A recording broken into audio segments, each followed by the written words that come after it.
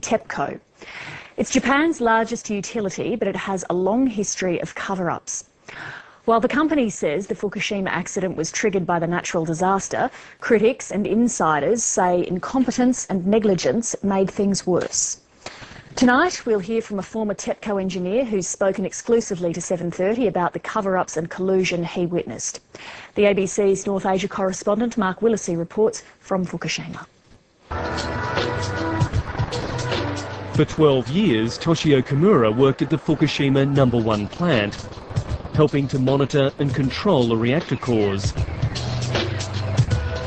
He was a member of the TEPCO family, educated and employed by the Tokyo Electric Power Company, Japan's biggest supplier of nuclear energy. But Toshio Kimura asked too many questions. I asked my boss back in the late 90s what would happen if a tsunami hit the Fukushima reactors. I said, surely a meltdown will happen. He said, Kimura, you are right. But it was made clear that the issue of a big tsunami was taboo. A few years later, I quit the company because of its culture of cover-ups.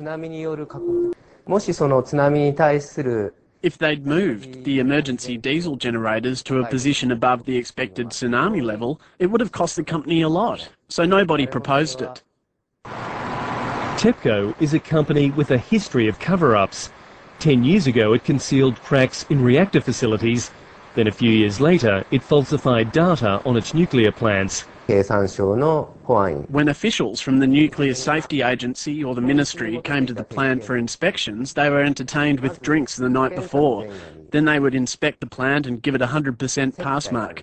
Then on the way home, the inspectors were given beer and snacks and taxi vouchers. All nuclear plants should stop operating until they're prepared for the next earthquake and tsunami. That's my message.